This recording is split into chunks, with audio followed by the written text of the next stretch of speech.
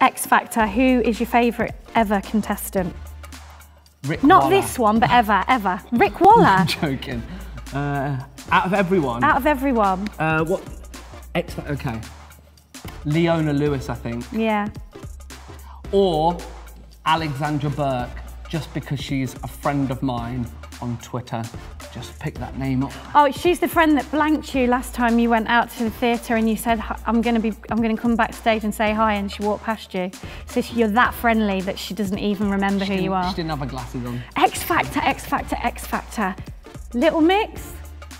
Good. She knows something about something. I like them girls. They've got sass, and uh, I'd, I'd name, say name a Little Mix single. Cake by the. That's Don't say that to me. That's DNCE. the boss is even more angry now. Your ex. Shout out to my ex. Brilliant, Love that great song. song, great song. Be a morning person.